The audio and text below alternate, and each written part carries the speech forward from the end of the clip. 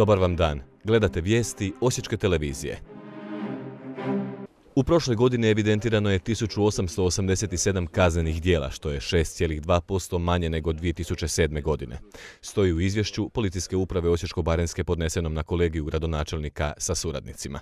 Kako se najveći broj prometnih prekršaja odnosi na nedopušteno parkiranje i zaustavljanje, još je jednom pokrenuto pitanje PAUK službe u Osijeku, zašto je gradonačelnik Rešimir Bubalo potvrdio kako će biti riješeno do kraja godine.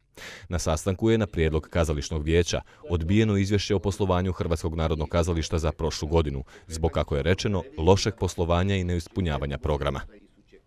Od gradskog će vijeća biti zatraženo da se Vlahu Ljutića razriješi dužnosti intendanta. Gradonačelnik je najavio i kako će gradu proračunu osigurati dodatnih 8 milijuna kuna za zaprašivanje komaraca. Najavljena je i revizija poslovanja gradske uprave u prošloj i prvih šest mjeseci ove godine. Obrtnička zanimanja u prilikama poput današnjih doživljavaju svoju afirmaciju i promičbu.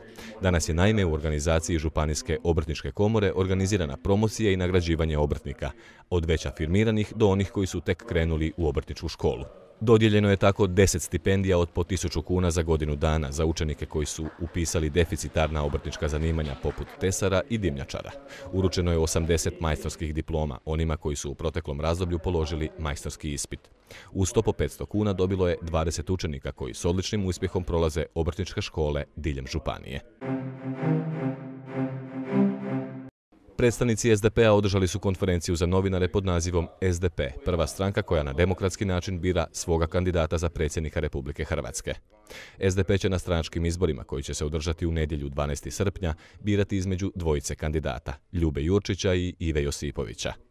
Pomoćni tajnik stranke Branko Tušek istaknuo je kako se članstvo poziva na izražavanje svoga mišljenja, te da u nedjelju na stranačkim izborima koji će se održavati u prostorima stranke u svakome mjestu odaberu svoga kandidata, te na taj način preuzmu demokratsku ulogu, ali i odgovornost za rezultate predsjedničkih izbora sljedeće godine.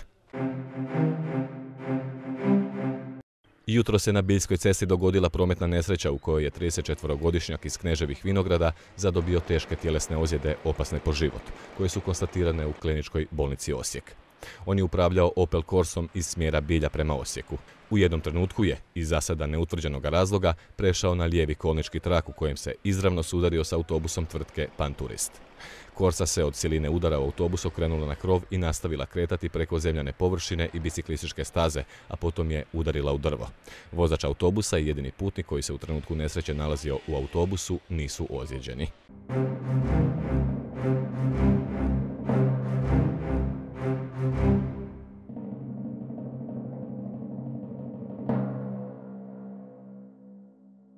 Sutra nas očekuje postupno poboljšanje vremena i razvedravanje.